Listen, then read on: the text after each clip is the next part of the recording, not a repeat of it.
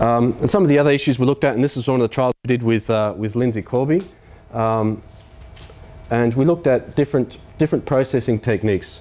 Um, and obviously, we didn't do this in the lab because we wanted to try and sort of replicate what actually happens in, uh, in winery situations. And what we found is that if we look at a cold fermentation at four days, um, and this is actually from the same vineyard, the same batch of fruit, but obviously there is some variation. So what we're looking at here is basically the, the difference between start and, and uh, a dryness towards the end of fermentation. So we're looking at how much percent change is actually within, uh, within those treatments. And so we looked at from a cold fermentation, a relatively cold fermentation, we saw that there was, there was a, a relatively high increase. Um, with a warmer fermentation, we actually got even more guaiacol. Um, and with a cold maceration um, plus a, a, four day 28 degree ferment, a hot ferment, we actually found that the guaiacol actually went up quite a lot. Um, so obviously, um, so what does this mean? Um, it's probably not much good for a full-bodied Cabernet to be made at uh, you know cold fermentation and then press it as quick as possible because you're not going to end up with uh, the characters the wine winemaker wants. Oops. We also looked at um, whether you know, perhaps an enzyme does accelerate the, the, the release of guaiacol. Um, and perhaps we need to do a bit more work on this, but again, there was probably a slight increase with a, with a, with a maceration enzyme. Um, again, it's probably not statistically significant, um, so we'd probably need to do a bit more work in this um, in, terms of, in terms of working out, um, you know, does an enzyme help or does particular enzymes actually exacerbate it? Um, and therefore, you know, we shouldn't be recommending their use in a smoke-tainted, in a smoke-tainted ferment. And the other thing was actually quite interesting. We also looked at some tannins. Depending on what kind of tannin you use, obviously that's, that's actually going to affect um, you know, your release of, of guaiacol. So perhaps, um, and obviously um, it's, you know, from this trial, you know, there still needs a lot more work to be done in terms of determining, you know, can we recommend some kind of tannin, uh, some kind of tannin management strategy. And, you know, using a tannin, um, a Quebracho-based tannin, which actually has high condensing capabilities, then you know, it, there's a possibility that it could bind up some of the guaiacol during fermentation. So again, um, you know, what are the what are the recommendations that we're saying to winemakers? Um, you know, hand harvesting. Um, obviously, the longer maceration, the more the more smoke character you're going to get, and what could be quite interesting could be some of these sort of perhaps yeast or tannin combinations. Um, you know, may be able to offset some of the you know some of the some of the characters.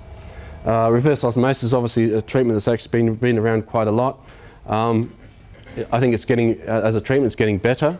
Um, but I think sometimes winemakers seem to think that, um, um, you know, it's going to remove the smoke tank carefully. I think what we know about the implications of smoke and how it actually gets into the, the fruit and how it actually develops in the wine, um, you know, um, it's not, uh, reverse osmosis isn't going to be the, the, the, the complete answer although it does actually have some, some very, very good um, um, benefits.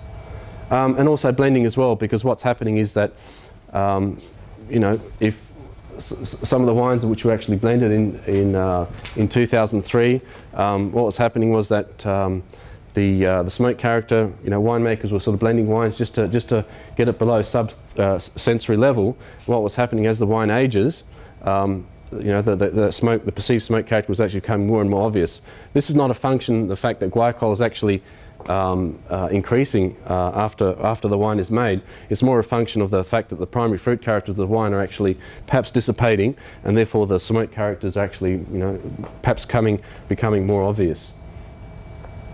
One of the other interesting um, trends that we looked at, and this really needs to be looked at in the context of, of a macro uh, macro environment. What we, what we did here is that we had a lot of, uh, a lot of samples were submitted to us from, from the King and Alpine Valleys in, in 2007. And what, I, what we tried to do here was, was we, um, we used all of the data, so there's about 550 points of, uh, of, of analysis here that were done on, from these two regions within a period of about 45 days. And the first sampling was around about the, I think it was around about the 2nd of January. And so the last figures here was probably around about the third week of February or towards the end of February. And what we're seeing here is that um, there were two fire events. There was one December, the, uh, er, the middle of December, or early to middle of December, and the second event was perhaps around, um, around here, perhaps around uh, Veraison.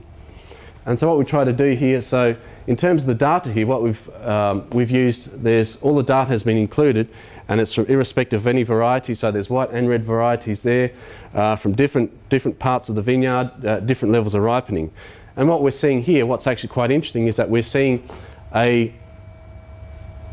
perhaps a, a relatively um, constant evolution of, um, of, uh, of guaiacol levels and actually in the, in the fruit that was actually analysed. Um, so we have here on the uh, in the red here we have the 4-methyl uh, sorry guaiacol, and in the blue here the 4 4 4 guaiacol. So obviously they're they're on they're on different scales here. Um, and what we normally find is that the ratio of, of guaiacol to 4-methyl guaiacol is about 3.7 to 1, and that stays relatively constant, even though there's a really broad range of data here. Um, and what we're seeing here is that um, initially we, we, we believe that, okay, once the fire event is gone, there's perhaps no further, there's no further implications there, and, and in fact the, the smoke character will probably drop off. But what we're seeing here is that there's a, there's a sort of really constant evolution, and as the fruit is ripening and obviously um, um, it's getting closer towards harvest, then, then the levels of guaiacol actually increasing. Now this increase is perhaps around about four-fold increase. And what we're seeing here is that the fruit was actually analysed here probably at, at, at, at, really at pea size or pre-veraison. And here at this side, the fruit, the fruit here is probably, you know, it's been picked at, at harvesting. So don't forget, um, a berry from pea size to, to sort of normal sort of ripening size is probably increased fivefold as well. So we're seeing a really, really huge increase in terms of guaiacol um, on, a, on a per kilogram or per, uh, or per gram basis.